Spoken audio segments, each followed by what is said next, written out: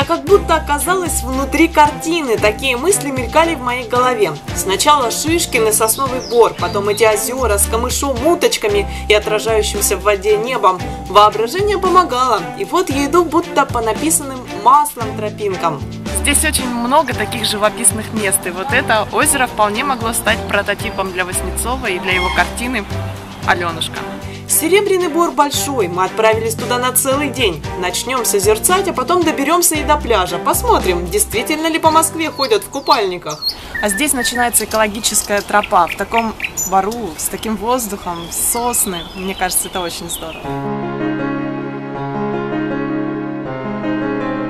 Серебряный Бор раскинулся на искусственном острове. Еще в 17 веке он был знаменит своими соснами. Царь Алексей Михайлович приезжал сюда на соколиную охоту. Интересная история происхождения названия Серебряный Бор. Одна из версий такая. Кора сосен а, блестела, особенно на рассвете, и напоминала людям начищенную серебряную посуду. Вот и сейчас вот эта сосна, видно, что имеет какой-то такой серебристый, серенький отблеск. Но сейчас экология не та, и такого блеска, как раньше, как говорят, уже не наблюдается. А вот раньше сюда даже были организованы туры выходного дня, чтобы увидеть вот это вот явление. Экологическая тропа, на которую мы ступили, это лишь небольшая часть Бора, но очень живописная. Действительно, гуляя по ней, можно увидеть и белок, и самых разных птиц, которые живут здесь. Надо только не спешить и смотреть по сторонам, прислушиваться и искать, ведь это дикая природа, настоящая лесная жизнь.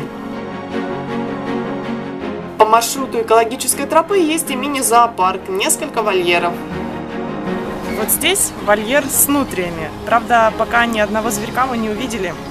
Видимо, они прячутся от нас. А журавль не прячется, и мне кажется, он даже позирует.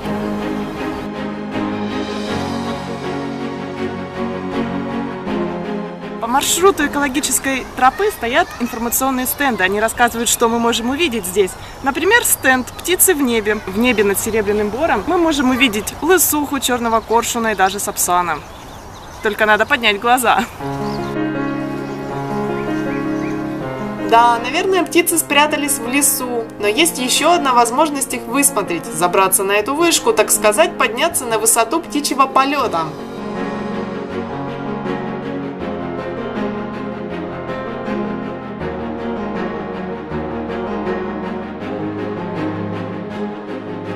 Снизу вышка кажется совсем небольшой, но отсюда открывается обзор на достаточно большую территорию. Здесь видно и болотистую часть экологической тропы, и озеро, и деревья, и этих птиц в небе отсюда лучше рассмотреть.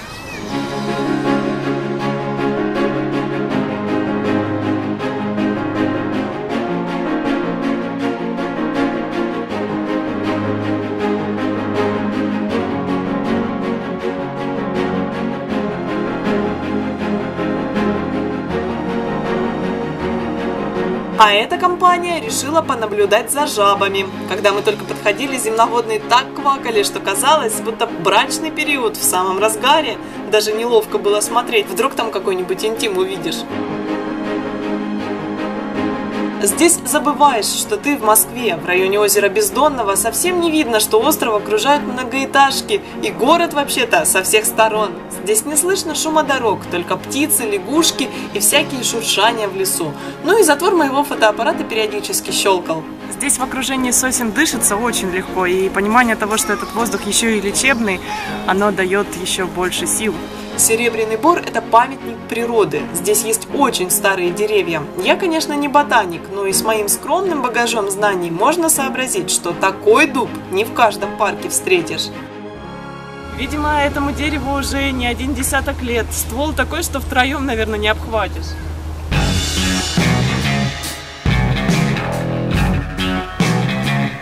Природа природой, а все-таки это Москва. Каждый метр земли здесь на вес золота, ну а если говорить про серебряный бор, то может и дороже. Среди пешеходных тропинок вдруг появляются вот такие улицы. Интересно, но в этом сосновом бару есть еще и такие участки, дачные дома, то есть здесь живут люди. Правда, дома здесь огорожены большими высокими заборами.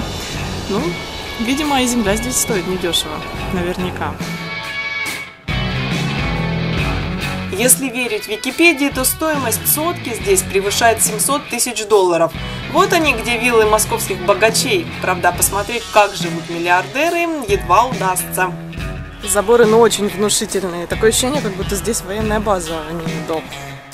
Интересно, что многие не одну сотку смогли выкупить. У кого-то даже свой лес за забором.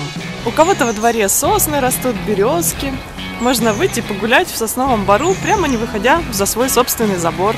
Если честно, у меня совершенно нет никакой зависти к богатству других, и меня не угнетает, что у кого-то много денег. Но в случае с Серебряным Бором очень странно, что вообще разрешили здесь строить. Наверняка деревья вырубали, причем массовая застройка началась не так давно, в конце 90-х. Ну а теперь, теоретически, во время прогулки здесь можно встретить Вагита Олег Первого, дочь Патрушева, ну или Олега Газманова, например. А мы тем временем уже добрались до пляжа. Вполне себе людно, спокойствие закончилось, началась пляжная жизнь, волейбольчик, речка.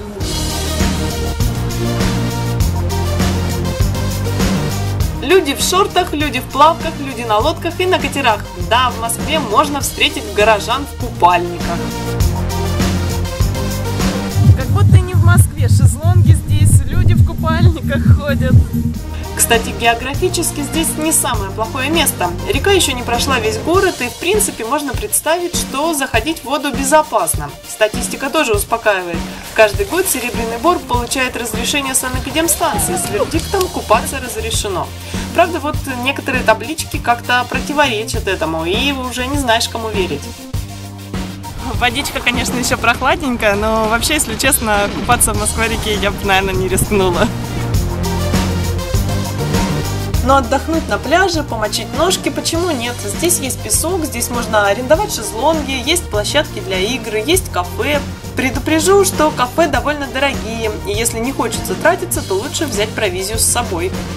В Москве много парков, скверов, садов, но некоторые из них достаточно посетить и всего один раз. А в другие, наверное, вообще нет смысла ехать, если живешь далеко. Серебряный Бор, наоборот, он настолько большой, там так много всего можно увидеть и сделать, что имеет смысл потратить время на дорогу. Я, например, обязательно в следующий раз захвачу с собой пляжный наряд и шокирую подписчиков в инстаграме снимком, который прокомментирую так. Разгуливаю вот в купальнике по Москве.